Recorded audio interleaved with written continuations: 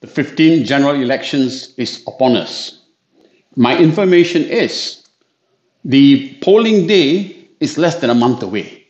And if that is true, we don't have much time. Now, 12th, 13th, and 14th GE, I was able to try and reach out to all of you, one, through the Ceramah Trail, and number two, by writing in my blog, The People's Parliament. 15th general election, I'm going to try to reach to you through a YouTube video channel and an Instagram channel. All right? My key messages will be essentially two.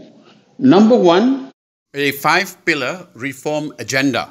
And I shall urge all of you to look at it, look at it carefully, so that when the candidates from the various parties come knocking on your door, tell them we're not interested in looking at your um, manifesto. We have our reform agenda, and you use this reform agenda to measure the candidates in order to help you make your choice. Now, as to the candidates, I am still in ABU mode, ABU, which is asalkan bukan UMNO because we are still going to reject UMNO, whoever comes, but we are also going to add to that now anything but the untrustworthy. Example, Azmin Ali.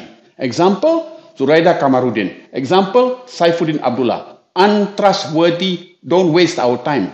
I will go into further detail in my uh, subsequent videos on the issues in the five pillars the main issue that really we need to drive home to all the candidates coming to us is no divisive politics. More on this later. All right? See you all soon.